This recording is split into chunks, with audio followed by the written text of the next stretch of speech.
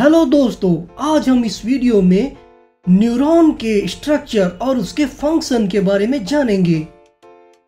ये है एक नर्व सेल। ये है सेल बॉडी। ये है डेंड्रॉइड्स।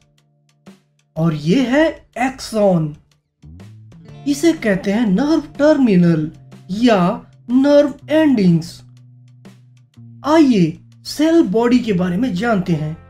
ये है सेल बॉडी सेल बॉडी के भीतर है न्यूक्लियस और यहाँ आप देख सकते हैं सेल बॉडी से कुछ ब्रांचेस निकले हुए हैं।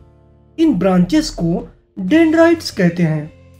यहाँ हम देखते हैं सेल बॉडी से एक लंबी धागे नुमा संरचना निकली हुई है।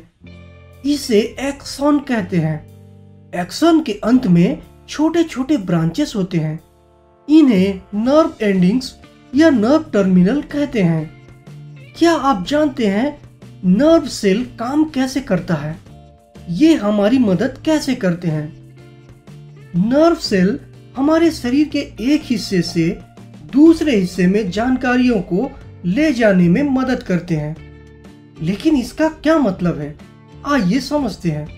मान लीजिए हमारे आँख ने कोई वस्तु देखी।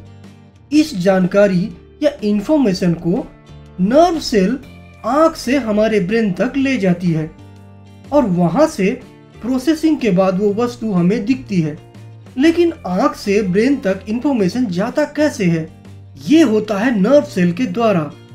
डेंड्रॉइड इंफॉर्मेशन को रिसीव करते हैं। एक्सॉन इस इंफॉर्मेशन को दूसरे न्यूरॉन तक पास करता है।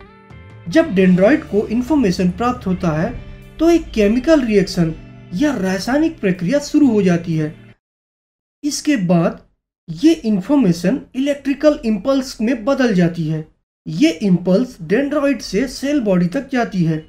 वहाँ से एक्सॉन से होते हुए नर्व एंडिंग तक पहुँचती है। ये नर्व एंडिंग दूसरे न्यूरॉन के डेंड्रॉइड से सीधे रूप से जुड़ी हुई नहीं होती। एक नर्व सेल और दूसरे नर्व सेल के बीच में एक गैप या खाली स्थान होता है।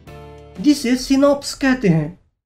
लेकिन अगर ये आपस में जुड़े नहीं होते तो फिर कैसे ये इलेक्ट्रिक इंपल्स का आदान प्रदान कर पाते हैं? आइए इसे समझते हैं। नर्व एंडिंग में जब इलेक्ट्रिकल इंपल्स पहुँचती है, तब ये केमिकल रिएक्शन के कारण केमिकल में बदल जाती है। मतलब नर्व एंडिंग में इलेक्ट्रिकल इंपल्स एक केमिकल में बदल जाती है। जो आसानी से सिनॉप्स से होते हुए दूसरे नर्व सेल के डेंड्रॉइड तक पहुँच जाती है।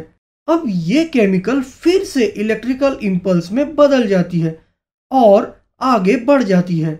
ये इंपल्स डेंड्रॉइड से एक्सॉन और नर्व एंडिंग तक पहुँचते हैं। अंत में ये इंपल्स टारगेट सेल तक पहुँचती है। टारगेट सेल अर्थात जहाँ पर कार्य होना है, जैसे मसल या कोई ग्लैंड अब यहाँ ये इम्पल्स उसी प्रकार से रसायन में परिवर्तित हो जाती है और सिनाप से होते हुए टारगेट सेल तक पहुँचती है। तो आज के लिए बस इतना ही।